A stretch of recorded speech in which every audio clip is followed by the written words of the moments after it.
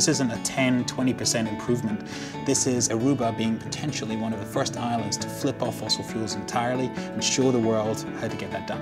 On a small island, a small surface, uh, with a population density uh, larger than New York, we can uh, provide uh, a good quality of life in a sustainable way. This vision of Aruba is a win in many different ways. They get a much more competitive economy. They produce new jobs around the renewable-based industry. It gives them a much cleaner, a much safer, a much more profitable way forward. But where Carbon War Room helps this whole process is gathering the companies on one side that are interested in taking their green technologies onto an island, improving their mettle. Lockheed Martin Corporation. SAIC. Shell. Sundurance Energy. And then uh, on the other side, a government, a pioneering prime minister. There are a lot of steps still to be taken.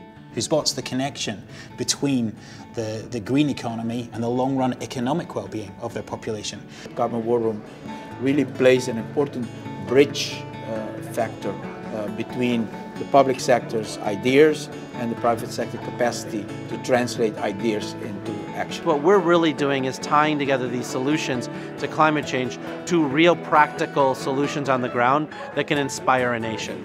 Why not take what we learn here in the case of moving towards renewable and apply it in other nations, other regions around the world? How do we collectively put together a first ever experience in the history of humanity? If we could have such a contribution to other nations and other people, um, I cannot say how, how happy we would be.